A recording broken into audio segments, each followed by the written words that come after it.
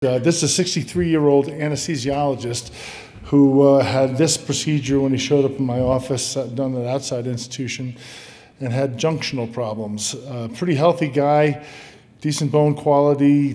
His, his spouse was at every meeting beforehand. So, um, on the right side, you can see um, this is back in July of 19. I extended him proximally.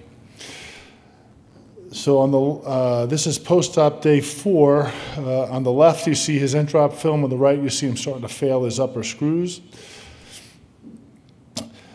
Uh, one month later is the left film. 13 months later is the right film. He, despite uh, looking at the x rays with me and sharing my concerns, was actually doing reasonably well, so opted just to kind of watch this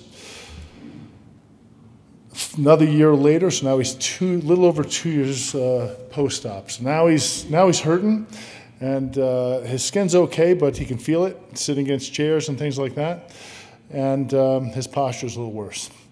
So what? Uh, actually, let me see.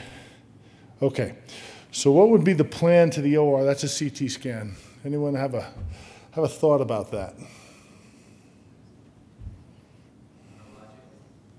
Neurologically intact, good question, I like that. Do you have a standing film on the the fire? Uh, that was, how do I go back? You know, when I, when I look at these cases, the f- first thing, I- if we go to initial post-op, um, you know, anytime we see a PJK, be it one, one of our own or uh, one that's referred in, let, us go back to the initial post-op. Um, you know, I want to try and make a um, statement about Here's immediate post-op, could we four have- days. Could we have predicted